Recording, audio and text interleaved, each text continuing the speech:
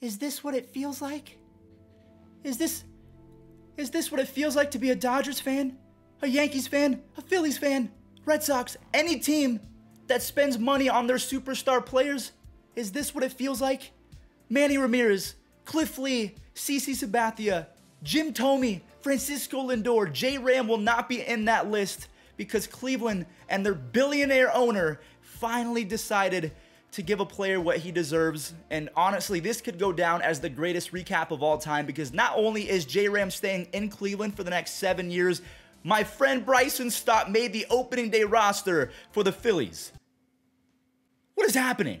All right, all right, I'm being a little bit dramatic. I know I'm a grown man getting emotional over a kid's game, but as a Cleveland fan, I have been dying for a moment like this ever since I was born 25 years ago. We have never spent money. Every superstar that has ever grown up in Cleveland, been homegrown, has left us and had a Hall of Fame career on another team. So this is big time for Cleveland fans across the country. But this is a normal MLB recap. We do have a few other things to talk about, including if you're Yankees, Red Sox, Mariners, and whoever is playing the Mariners on opening day. Unfortunately, opening day has been postponed to Friday due to inclement weather. So this is every Mariners fan right now knowing that they will have to wait a day to see J-Rod. And also, I just want to mention, if you're going to any regular season games, please save yourself 20 bucks off your entire order on SeatGeek using code Fuzzy. And if you're a Reds fan and you're saving 20 bucks, you're also saving yourself from seeing Shogo Akiyama ever hit in a batter's box for your team. He was DFA'd and released. Now, I don't mean to sound like a jerk, but Shogo Akiyama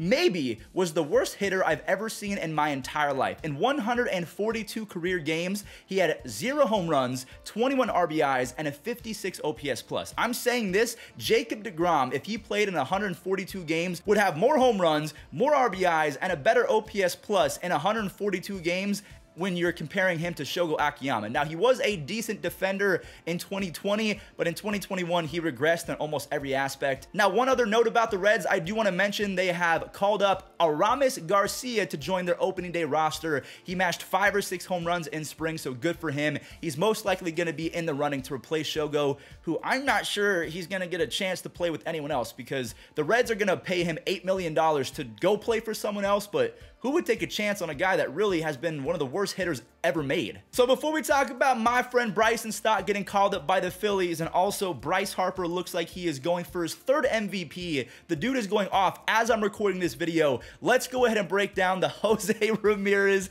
contract extension. Saying that out loud, it just hit me all over again. I cannot believe I'm even saying that. Christmas came early and I have to say Jose is an absolute, I know he's on Cleveland, but he's an angel. And I say that because he's a saint of a human. He left a ton of money on the table because of how much Cleveland means to him. We essentially have Jose Ramirez for the next decade, and we somehow got a no trade clause in that contract as well. So J Ram, he wants to be a member of the Guardians for the remainder of his career. He's getting $25 million a year, but that doesn't start until 2024. So if you extrapolate the next seven years, he's going to get $150 million guaranteed, which he deserves more, in my opinion. So he took a hometown discount. You cannot hate Jose Ramirez. $25 million a year for an MVP candidate. This might be a benefit to Yankees fans because Judge is trying to get 30 plus. Even though Jose Ramirez has been about as productive, he's been healthier. So maybe this is not good news for Aaron Judge, but good news for Yankees fans. Let me know. That's a different perspective that I'd never thought of. And again, this is not supposed to happen to teams like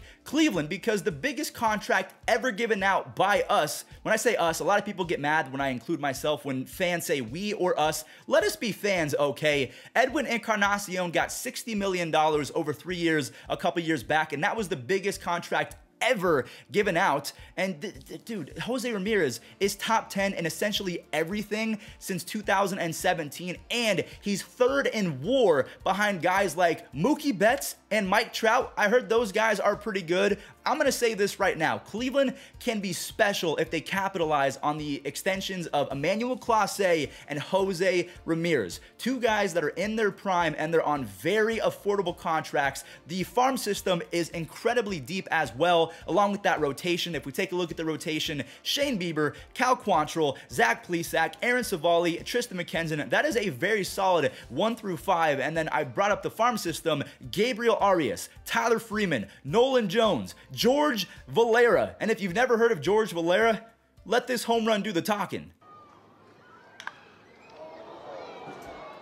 So I don't know what to make of the Guardians going into 2022. I'm not going to lie, even if I'm being biased, I don't believe that they're better than the White Sox. The Twins are much improved as well. And also, there's the Royals who are improving. We have other teams in that division like the Tigers who have spent the last few years in turmoil, but they are finally turning it around. They're trading for guys like Austin Meadows. They're finding guys like Akil Baddoo in the Rule 5 draft. They selected Spencer Torkelson and Riley Greene is going to be back. So if I had to be a better bettings man, if I had to put all of my Akil Baddoo cards on the table and bet them who's going to win the AL Central, I still don't think it's the Guardians. So use this opportunity to get better and better because you could be a serious contender for the next decade if you actually sign a few other guys and call up your top prospects and they perform how we expect them to. But that's the big if. We don't know if prospects are going to perform. Look at Jurickson Profar. He was supposed to be the next big thing He's not very good. I'm sorry I talked a lot about Jose Ramirez in today's video, but I feel like I deserve that after being told 3-1 the last five years. And yesterday at night it came out that the Padres were heavily pursuing Jose Ramirez, which makes me think,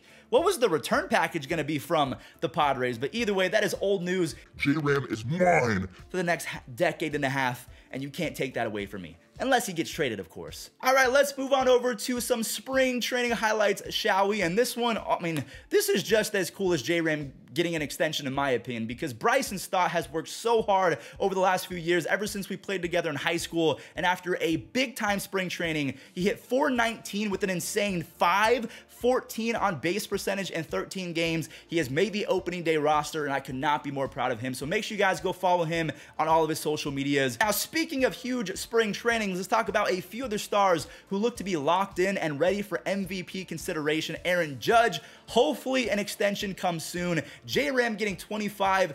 I mean, Aaron Judge is probably going to get 25 to 30 now, and he deserves it. Honestly, again, I think J Ram kind of undersold himself, so Aaron Judge getting 30 would not surprise me. He was an MVP last year. He's been an MVP candidate the last four or five years when healthy. In spring, he had four home runs and he hit 406. Another guy that is in prime shape, Byron Buxton. He's hitting 470 with five home runs in spring training. Rafael Devers and Bryce Harper, they both have six. Uh, scratch that, as I was recording, Bryce Harper hit his seventh and eighth home run.